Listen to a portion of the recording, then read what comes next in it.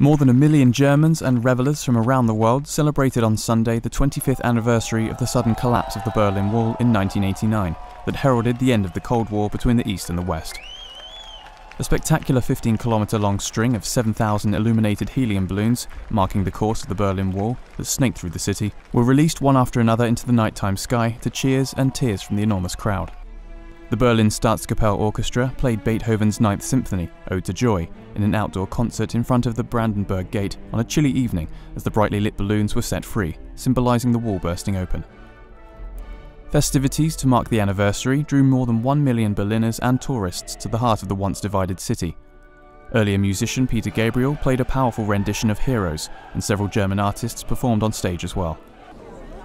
Despite the fog and cold weather similar to the evening 25 years ago, many wandered along the former death strip where the wall once stood, and where the 7,000 illuminated helium balloons forming the border of light were now perched 3.6 metres high on poles, matching the height of the barrier built in 1961. The Berlin Wall was built in 1961 to stop East Germans fleeing to the west, it began as a brick wall and was then fortified as a heavily guarded 100 mile double white concrete screen that encircled West Berlin, slicing across streets, between families, and through graveyards. At least 138 people were killed trying to escape to West Berlin, and many who were captured ended up in jail.